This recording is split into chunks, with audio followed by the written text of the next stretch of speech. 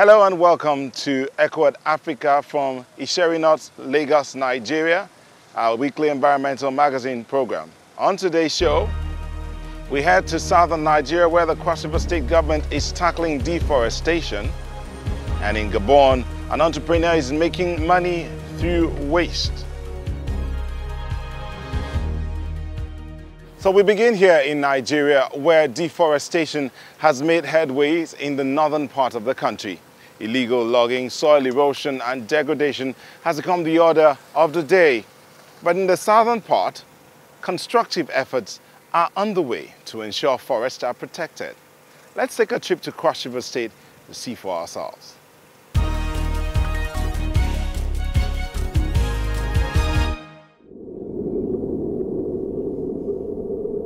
Nigeria's forests are in danger. They're amongst the most important ecosystems in the country and provide food and shelter for rare insects, mammals, reptiles, and birds. But Nigeria has one of the highest deforestation rates in the world. Between 2005 and 2010, the country lost more than 2 million hectares of forest annually. One reason for this is that rural communities cook using charcoal derived from local trees while some are exported by local syndicates. Most of the wood we chop here from our woodlands, disappearing we burn them. So we are literally burning our forest. Kerosene is expensive for some people, especially during the time of fuel crisis. Very few people can afford gas. That's if I thought if they know even how to use it. Electricity, how many people cook with electricity? So you see, most of uh, the people depend on the biomass. And this is causing a lot of uh, environmental hazards. Many forests are also cleared for the sake of timber production, much of which is logged illegally. In the Cross River State Province, a new program has been launched to try and stop environmental crime. The so-called Green Police are hoping to work with local communities. Now, dealing with the loggers is not just going to stand there and beat them up or shoot them down. That won't work. The Green Police are going to work through the communities because, truth be told, no stranger can walk into anybody's community and start cutting forest without the consent of the, the, the dwellers of that community. So we are developing a different, uh, we're adopting a different approach, the approach of dialogue with the communities. A separate forest protection task force was accused of fraud and ill treatment of locals, but the Green Police aims to be different. They'll be interfacing with the communities through their chiefs, the women leaders, the youth leaders, the opinion leaders, and other community leaders within wherever they are sent to. They'll be working with those uh, community leaders to see to it, to appeal to them that look, if you allow strangers to come and cut down your forest, it is your children, your posterity that will suffer. But this stricter control and enforcement cannot be implemented until the Green Police begin their work. Now let's turn our attention to waste, another environmental problem which could lead to pollution and the spread of disease if not collected. According to a World Bank Urban Development Series report, Africa currently produces some 70 million tons of waste annually. Firmin Makaya is doing his bit in the West African country of Gabon. He has decided to tackle the problem head on by setting up a small company that collects and, where possible, recycles household trash. They have become an established team. Several times a week, men from global services come over to the market in Lambaréné and sort the enormous waste. Organic waste goes into the pink bags and plastic in the blue. This is all done in the watchful eyes of CEO Firmin Makaya.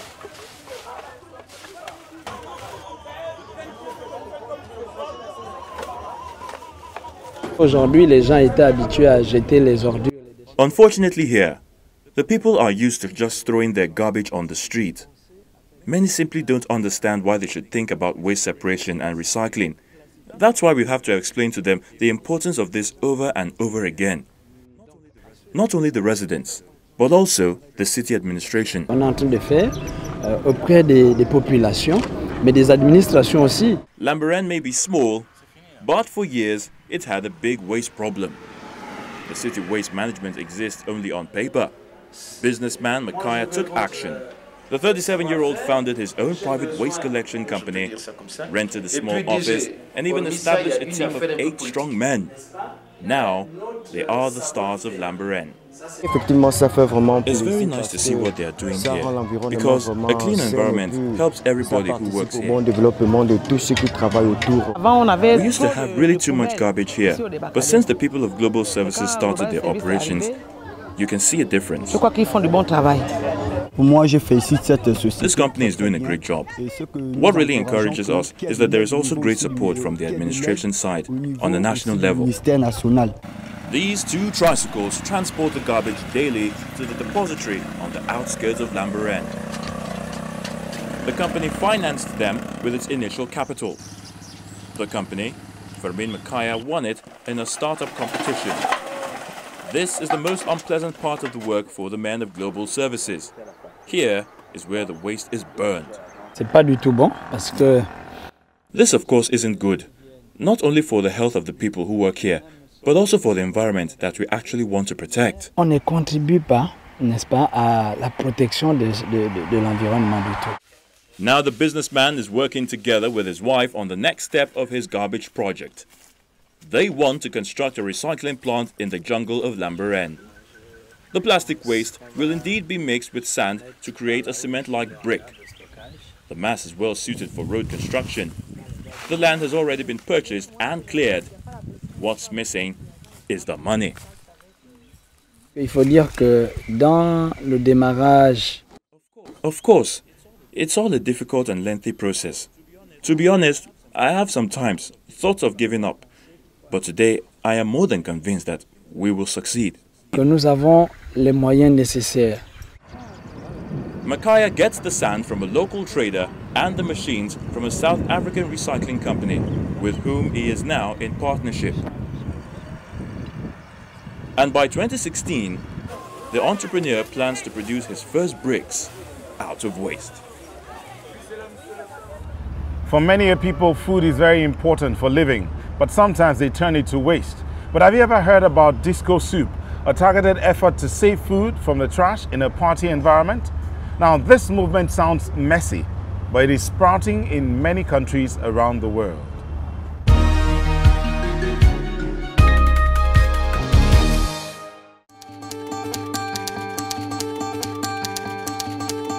In today's world, there are still around a billion people who are starving. And yet, 30% of the world's food ends up in the garbage. In many Western countries, people buy more food than they need and it goes bad. In other parts of the world, food is wasted because of poor production or storage techniques. The Disco Soup movement is trying to stop food waste. Volunteers collect perfectly edible food that supermarkets or farmers discard. Then they hire a DJ or a band. Under the rhythm of the beat, they start chopping and turn the vegetables into soup, salads, and smoothies. Free and delicious. The movement has spread across the world. We like that. Are you also doing your bit? Tell us about it. You can visit our website or send us a tweet. We'll share your story. Beautiful birds, as you can see here. But if there's a bird widely associated with dry landscapes, it's the vulture. This misunderstood bird of prey plays an important role in the ecosystem. Yet in Africa, as well as many other parts of the world, they face extinction. They are often poisoned, so their body parts can be used in preparing traditional medicine or killed by poachers who fear that their presence around a carcass will alert the authorities to their illegal activities. In South Africa, the Endangered Wildlife Trust is fighting to protect the maligned creatures called vultures. When she needs to buy ingredients for remedies, Philly Motrasiri doesn't go to a pharmacy. She goes to a muti, or traditional medicine market in Johannesburg. Here she can find everything a sangoma, a traditional South African healer, needs. It's a thriving business, but sadly also costs the lives of many endangered animals. Vultures are one prominent example. A bird like this costs the equivalent of 200 euros at the market. They use mostly the eyes, the eyes and the head for clairvoyances. That's what they say, because it can see from a distance. So if you administer it with other medicines, your herbs, then and then you smell it, the smoke as it burns. You smell it and then it comes into your head and your eyes, and then naturally you can you are able to foresee things. The healer says that sangomas aren't actually allowed to kill animals for their medicine, but the demand is too great. So every year, hundreds of vultures end up at markets like this one.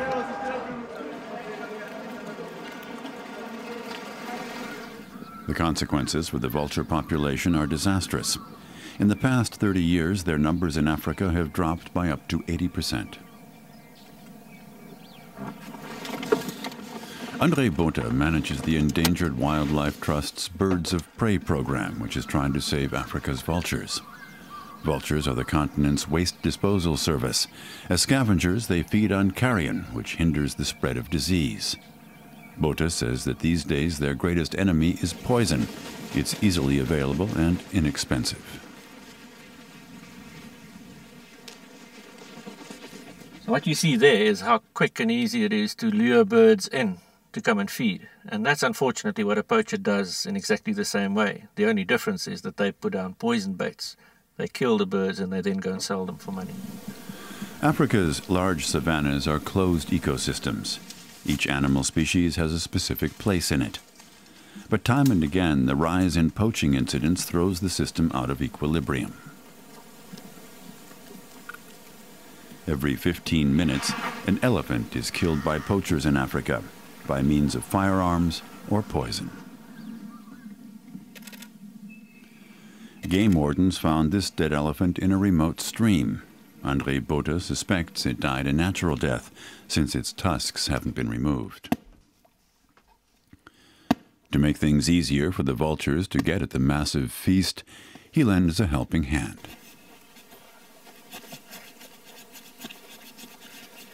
So what we're doing is trying to open up this elephant. Uh, it's got a very thick skin, about this thick, and uh, unless there are predators they can open up this or we come and help. The, the vultures basically don't benefit from the three tons of meat lying here. Vultures can locate a dead pachyderm in less than 30 minutes, so they pose a threat to poachers. The birds will come down in, in large numbers, up to 400 vultures uh, will come and feed on it over a number of days. Unfortunately, in certain parts of southern Africa, poachers have taken to poisoning carcasses like this. Um, and what they do is eradicate the vultures from a particular area to host or to mask their activity so that uh, rangers can't pick up on, on what they're doing. Protecting vultures is difficult. The birds can fly long distances, up to 400 kilometers in a single day. If they die, it often has consequences far beyond the country's borders. Learning about the behavior of vultures is important they're currently being studied by a group of researchers. But first, they have to catch one. And that takes plenty of patience. Maybe the distance isn't too far between. Okay. And an ability to sprint at the right moment.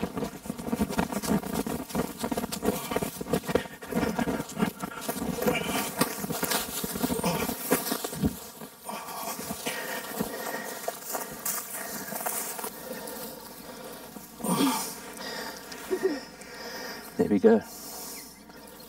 We capture these birds and then we fit these wing tags to them, we ring them, and we also, in some cases, harness them to follow their movements, to track where they go to, where they go and find food within their range across southern Africa. And that enables us to, to sort of get an idea of the areas where they potentially could be exposed to threats. Andre Botha's aim is to eliminate those threats as well as he can so that there will still be a place for vultures in the skies over southern Africa. Here in Nigeria, energy remains a recurring topic as billions of naira are spent annually on fuel consumption. Considering the country's geographic location around the equatorial sunbelt, Nigeria has the potential to tap into renewable energy and exploit its abundant solar energy resources. In Germany, the clock is ticking for a nuclear phase out by 2022. The country is investing heavily in renewables, but one quarter of its power is still generated from lignite, also known as brown coal, which emits even more carbon than conventional coal. What's more, open cast mining swallows up fields, villages, and even forests, such as the Hambacher forest. For the past four years, a small number of activists have been putting their bodies online to save this ancient woodland from destruction. Take a look. Germany's coal industry heats homes, lights cities, and fuels business. But it also massively damages the environment. This open cast coal mine in Hambach extracts 40 million tons of lignite a year. Environmental activists have gone to great lengths to try to stop coal extraction here. People like Mori and Mila. Entering Hambach Forest is trespassing. That's why Mila has hidden her face.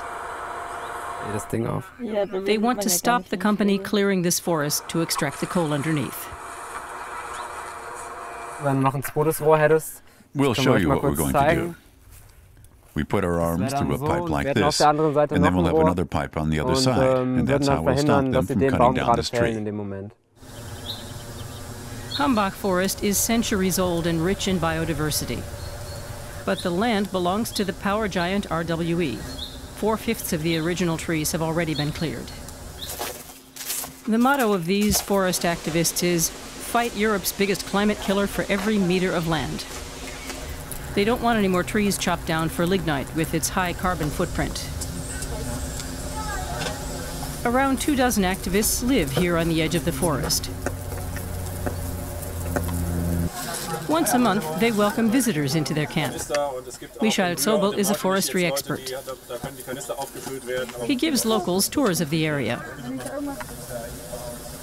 Opinion here is divided when it comes to mining. Zobel wants people to see the forest, the mine, and the activists for themselves. Wenn man ein bisschen zurückguckt in der Erdgeschichte vor 12.000 Jahren war die letzte Eiszeit zu Ende und seitdem ist hier immer Wald. Immer Wald gewesen. ist natürlich kein Urwald, alle Wälder, die wir hier haben, sind von Menschen beeinflusst. Aber hier war immer Wald. Und ich möchte, dass das so bleibt. Und dann, wenn man ein bisschen in die Biologie geht oder in die Forstwirtschaft, dann ist es ein ganz besonderer Wald. Das ist dieser Stiel, Eichen, Hainbuchen, Maiglöckchenwald, den habe ich ja schon erwähnt. Der ist in Europa in dieser Zusammensetzung einmalig. That so much of the forest with its oaks and lilies of the valley has already been destroyed for coal mine production leaves people on the tour uneasy.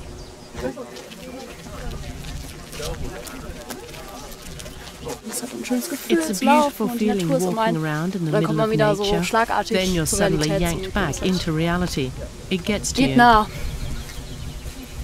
Für einige Jahre Kohle so to destroy all of this ähm, just for a couple of years of coal, das äh, steht in keinem Verhältnis. Das ist this is our home, and it's all getting bulldozed to the ground. Villages are being destroyed for nothing. RWE's right to mine this land expires in 2040. After clearing Hambach Forest, RWE plans to level two villages nearby. The coal the company mines is destined for a local power plant. A huge polluter, say environmentalists. But there are arguments in favor of the mine as well. Lignite provides a reliable source of power, and this mine alone employs around 2,000 people. Der Tagebau äh, ist äh, ein wichtiger Eckpfeiler für die Wirtschaft. Ähm, sagen wir, diese große Unternehmung sichert äh, äh allein der Tagebau hier sichert 5% der Stromversorgung in Deutschland. Also eine tolle Lagerstätte, die der Herrgott hier im Rheinland hinterlassen hat und das Filetstück das gewinnen wir hier im Tagebau.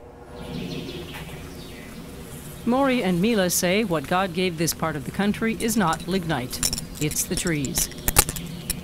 Like this 250 year old oak. They live in a treehouse 16 meters above the ground. RWE can't cut down a tree if people are living in it. The young couple have made themselves a cozy home, and so far the power company has left them in peace. the future of Hambach Forest and the lignite beneath it is still uncertain. It will depend first and foremost on whether Germany can develop a renewable energy sector strong enough to replace polluting lignite. And we're back to Nigeria, located on the equator and blessed with an abundant amount of renewable energy resources, chief amongst them being the sun. But the use of solar for the generation of electricity has remained somewhat minimal, yet the conversation around it continues. Well, I went out in Lagos to meet with Henry Boyo, who is doing his bit for the environment and to see the appreciation for solar energy rise.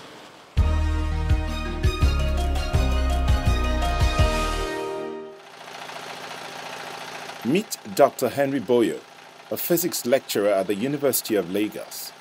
He designed the Zero Net Energy Building with the aim of reducing environmental emission and pollution. The building produces as much energy as it uses. With the global trend towards sustainability and energy efficient consumption, Dr. Boyo uses solar energy to generate heat using a parabolic satellite dish.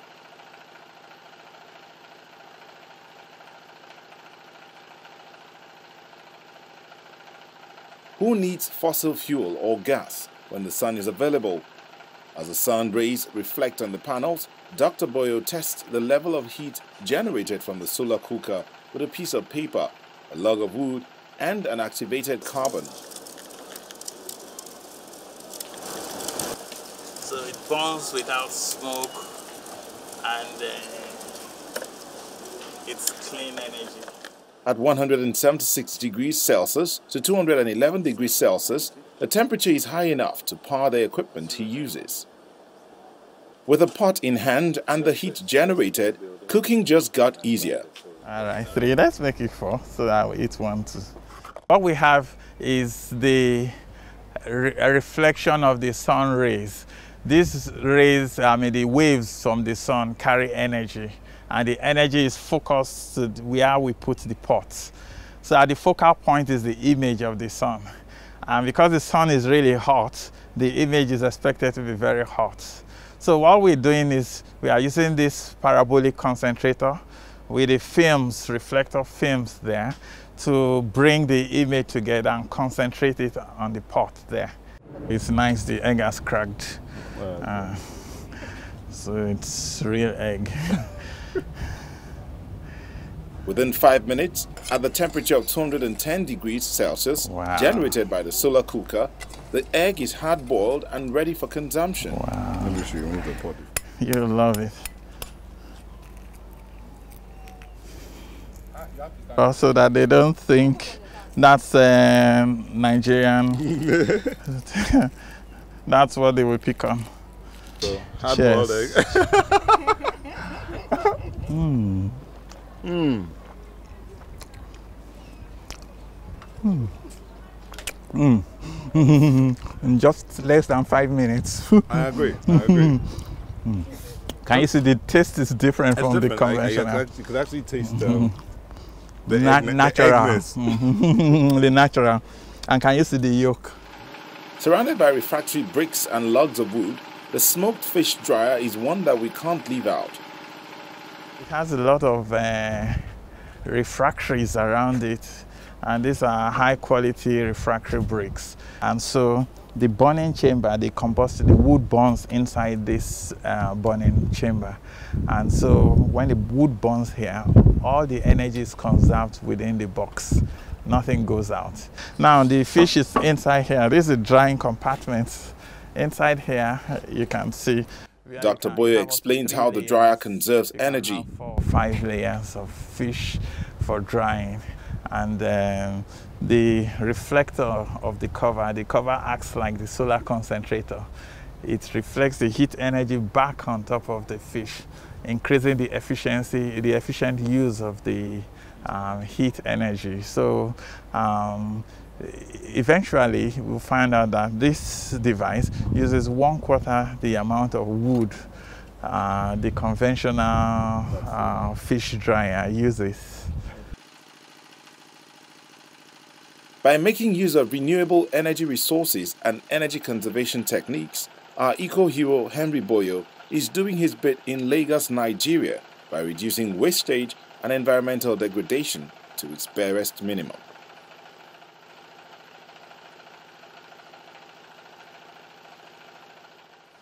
So, he is doing his bit for the environment. What are you doing? We would like to know, and we can help you tell the world how you're helping to protect the environment. Get in touch through the website, email, and social media platforms showing on your screen. Tell us what you're doing. That's how much you can take on the show for today. I want to thank you for being a part of it. So we'll bring you another edition. Bye-bye.